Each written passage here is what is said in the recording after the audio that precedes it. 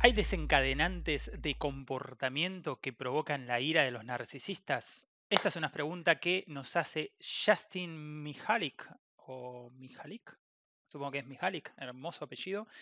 Em, desencadenantes. Por supuesto que hay desencadenantes. Por ejemplo, eh, un narcisista no soporta un rechazo. No soporta rechazo porque el narcisista está viviendo en un personaje, ¿no? Desarrolla un personaje como un artista.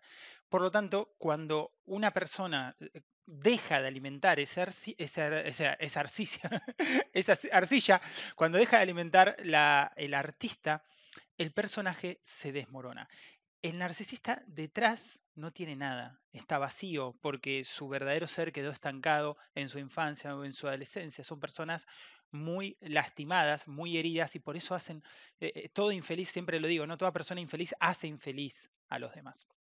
Entonces, sin personaje no hay nada, como te dije recién, y eh, este personaje le cuesta mucho trabajo al narcisista, le, llevó años crearlo y cuando vos no alimentás ese, ese personaje por medio del rechazo, por ejemplo, obviamente vas a despertar su ira.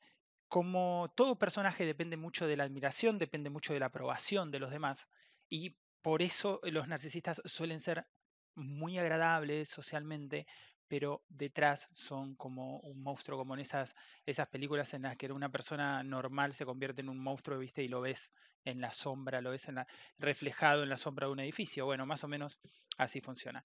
Eh, por, eso, eh, una de las primeras cosas, el rechazo al narcisista obviamente lo va a molestar. Lo segundo es el abandono, el narcisista necesita de rodearse de esas personas a quienes les da adulación, a quien luego un poco los critica, luego les da un poco de adulación, luego hace algo por ellos, luego le quita atención. El narcisista hace ese tipo de juegos de poder para mantenerse en el medio de todas esas personas y ser demandado. Eh, otra cosa que les molesta mucho es que se rían, que se rían de él, que, lo pongan en ridículo. Por supuesto, creo que a todos nos molesta, pero eh, hay que recordar que la ira del narcisista suele ser muy efusiva, demasiado exagerada, dramática, mucho más que una persona normal.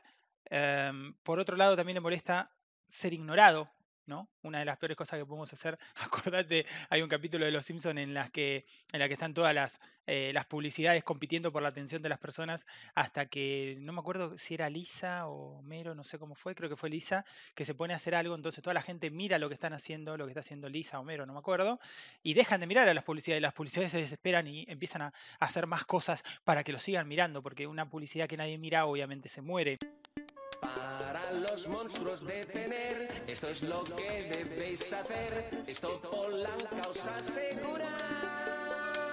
Aunque tenéis sin cura. A los monstruos no mirar. A los monstruos no mirar. A los monstruos no mirar. Un narcisista que nadie mira obviamente se desmorona. Podemos seguir enumerando un montón de cosas por las cuales los narcisistas o los sociópatas se sienten agredidos, se sienten enojados, se, eh, reaccionan, etc. Lo cierto es que nosotros acá tenemos un problema de enfoque muy importante. Primero, em, yo, te, voy a decir una, frase, Justin, y quiero que te quede esto, que, que lo recuerdes. Eh, y que lo adaptes a diferentes situaciones. Nada de lo que haga, nada de lo que haga yo va a hacer que el otro haga algo. Por ejemplo, nada de lo que yo haga va a hacer que el otro sea amable. La adaptamos. Nada de lo que yo haga va a hacer que el otro deje de hacer algo. Nada de lo que yo haga va a dejar, va a lograr que el otro deje de ser un incompetente, o sea, un maleducado, o una persona agresiva, o una persona mentirosa. Nada de lo que yo no haga logra que el otro haga, piense, sea. Nada de lo que yo sí haga genera que el otro haga o piense o no haga o no piense o diga o no diga. Nada de lo que yo haga, nada de lo que yo diga hace que el otro haga, diga, piense. ¿sí? Esa frase la puedes adoptar, adaptar como a vos te guste, pero te recomiendo mucho que la tengas en cuenta. Nada de lo que yo haga, nada de lo que yo diga, nada de lo que yo no diga, nada de lo que yo no haga va a hacer que el otro haga esto o deje de hacer esto otro o eh, empiece a decir tal cosa o deje de decir tal otra.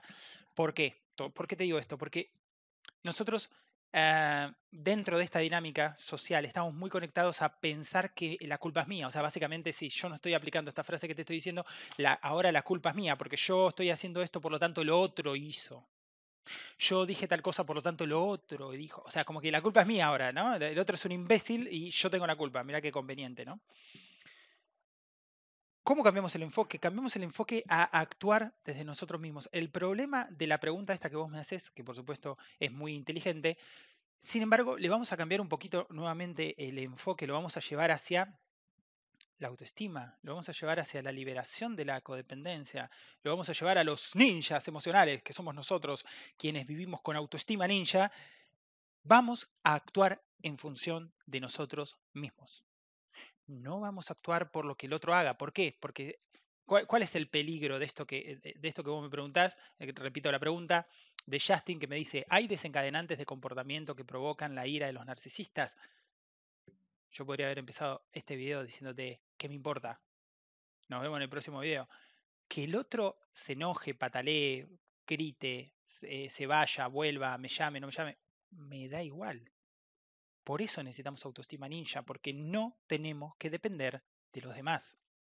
No me importa si el otro hace, no hace, dice, no dice, piensa, no piensa, que haga lo que quiera, ¿qué me importa a mí? Entonces, ahí es cuando yo me empiezo a dar cuenta que lo que el otro hace es problema suyo. ¿Qué estoy haciendo yo? ¿Cómo me siento yo? ¿Qué quiero yo? ¿Qué es bueno para mí?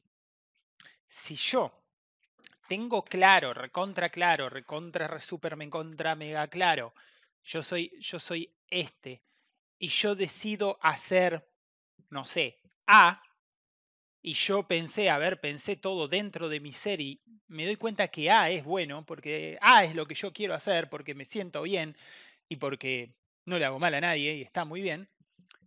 ¿Por qué me va a importar lo que piense? Lo vamos a hacer cuadrado porque son cuadrados. ¿Por qué me va a importar lo que piense el narcisista? El narcisista me puede decir, no, porque eso me molesta, no, porque eso no me gusta, eh, no, porque eso que haces me hace mal, lo que sea si yo estoy seguro de mí, si yo ya pensé, si yo me doy cuenta que cuál es mi responsabilidad y cuál no lo es, cuál es parte de mi incumbencia y qué cosa no lo es, si yo estoy seguro de que estoy tomando una buena decisión, no debo dejarme caer en las redes de personas tóxicas, manipuladoras, lisiados emocionales, que no saben amar, que no saben querer, que no saben demostrar sentimientos, que no saben decir lo que sienten, que no saben mostrarse como son, ¿Por qué voy a hacer eso? Ahí es donde yo caigo, yo entro en el juego de la víctima porque yo no estoy seguro de mí mismo y de quién yo soy. Yo tengo que trabajar en mí y tengo que actuar desde mí, no actuar a ver si el otro, a ver qué va a pensar, ay, yo voy a hacer esto, pero no sé, a ver si el otro. No, eso te va a llevar solamente a enfermarte, a quemarte la cabeza, te va, te va a explotar todo y no vas a llegar absolutamente a nada. No te olvides que te podés suscribir para tener nuevos videos como estos. Me puedes hacer las preguntas que quieras. Acordate que estamos en el grupo Autoestima Ninja en Facebook y también en Hábitos Indestructibles porque estamos trabajando en nosotros. Estamos trabajando nosotros. Mi nombre es Marcos Montivero. Espero que te haya gustado este video. Cualquier cosa me dejas una nueva pregunta que, como dice el hashtag, te respondo en video. Chao, chao. Para enterarte cuando subo nuevos videos, hace clic en suscribirse y luego clic en la campanita. Comparte este video con tus amigos. Recuerda la frase de Del Carnegie que dice, usted puede hacer más amigos en dos meses interesándose en los demás que lo que haría en dos años tratando de que los demás se interesen en usted. No olvides suscribirte y nos vemos en el próximo video.